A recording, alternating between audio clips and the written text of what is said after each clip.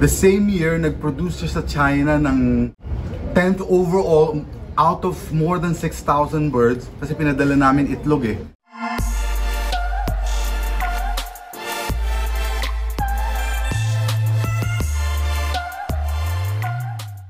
Ang pinaka-foundation natin, kung tatawagin mo mang ganon, dalawa sila. Um, isa itong si Blue Hope.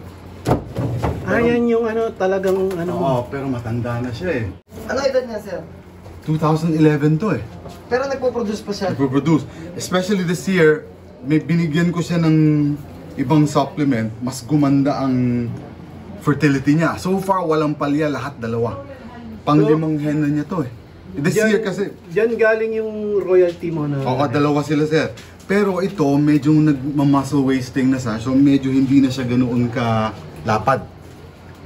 Pero, ah buong buo naman ang katawan. Ay, I mean, ang buto, makapal. Sir, kakyan him. Kakito. Nilalaban, nilalaban mo pa yung mga anak niya.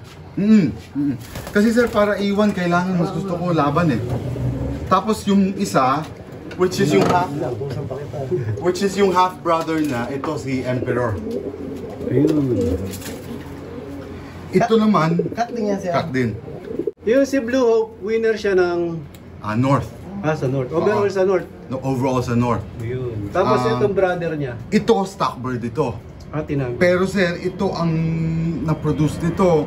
Ang una niyang na-produce na, yung una naming balik, magkapatid, ah, ano, ah, nung auction natin sa South, ah, 7th and number 14th yata yung magkapatid na yun, parehong live.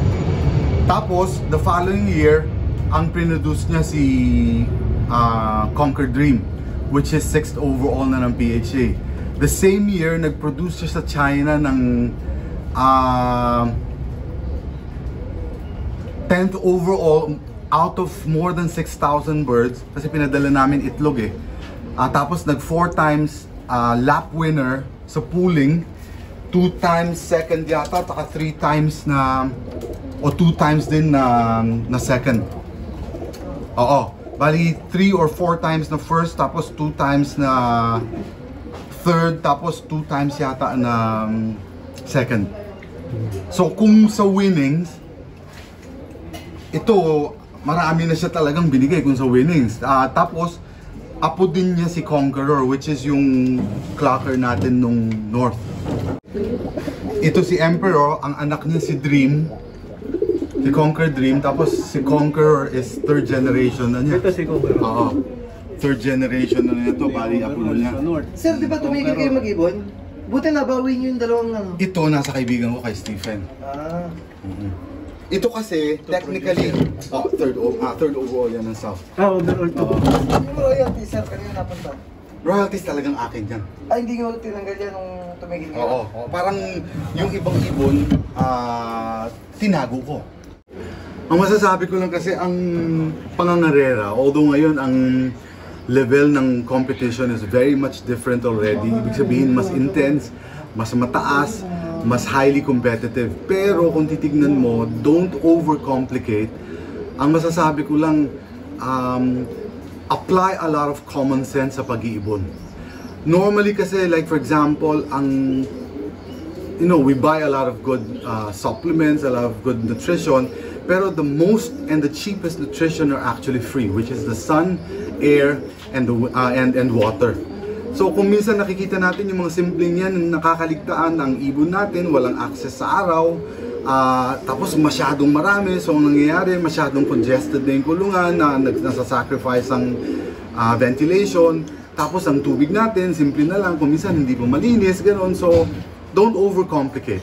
Tapos, it's very important when you apply a program, whatever it is, kailangan na iintindihan nyo kung ano ang purpose nito, kung ano ang benefits ng mga ginagamit nyo para hindi nagdodoble-doble. Kailangan lahat alam mo kung para saan at kung ano ang benepisyo. Hindi yung dahil narinig mo lang, gagamitin mo rin, hindi mo alam kung para saan. I think that's the most that I can share.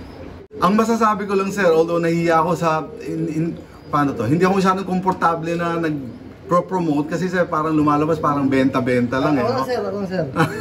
Pero, Ang masasabi ko lang dyan, alam mo ano, Basta bili-bili na, baka mabusan ha.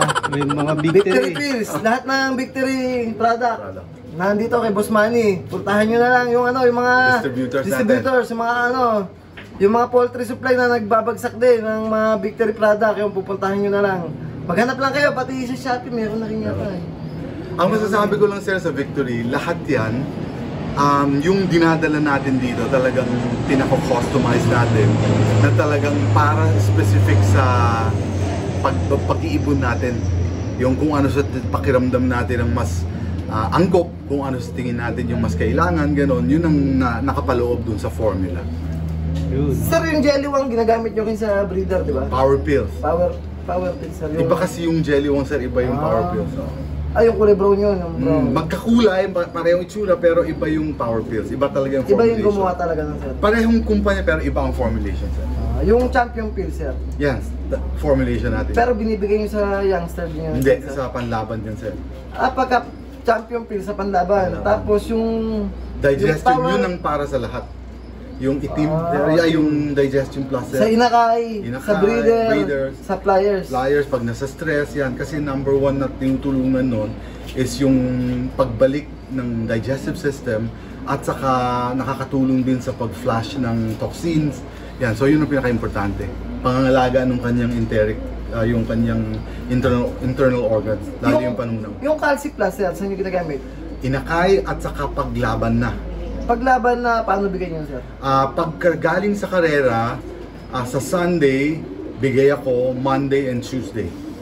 Hindi kayo magamot pala. Hindi. Ayaw kong nagagamot. Mas gusto ko more on herbal. But, I may consider, lalo na na. itong mga ano kasi so- ang taas ng challenge sa sakit eh. So, hindi ko sure kung kaya pa ng herbal-herbal lang. Pero ang focus ko this year is sa immune system um, boosters.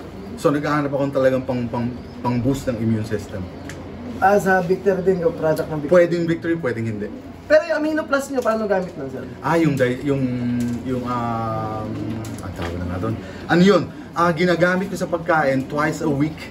Binder. sir. Binder parang ganyan or as is. Ah, sa laban ginagamit ko rin kasi Sa tubig, source hindi kayo energy. nagbibigay? Hindi. Sa... Kaya mga kamaster, yung mga nagtatanong, yan, nasagot na lahat ni Boss Manny. Super blend. Super blend.